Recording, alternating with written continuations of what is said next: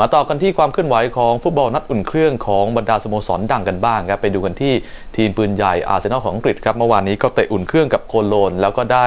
ประตูจากแชร์วินโญ่นักเตะใหม่ครับเอาชนะเจ้าถิ่นโคโลนไป 2ต่อ1ครับ ฟุตบอลนัดอุ่นเครื่องที่สนามไรน์เอเนอร์กีสตาดิโอนครับที่ประเทศเยอรมนีเจ้าถิ่นโคโลน พบกับอาร์เซนอลจากอังกฤษครับ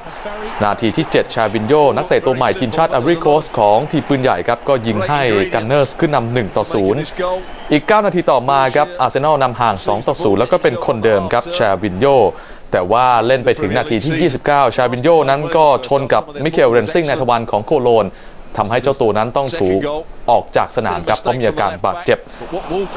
และถึงนาทีที่ 45 ครับโคโลนเจ้าถิ่นก็มาได้ประตูตีไข่แตกจากการทำเข้าประตูตัวเองของคาร์ลเจนกินสัน จบเกมนี้อาร์เซนอลบุกมาชนะโคโลนถึงถิ่น 2 ประตูต่อหนึ่งครับขณะที่หงส์แดงลิเวอร์พูลเมื่อวานนี้ก็มีเกมอุ่นเครื่องครับบุกไปอุ่นเครื่องกับฮัลล์ซิตี้ปรากฏว่าโดนเจ้าถิ่นฮัลล์ซิตี้ถล่มไป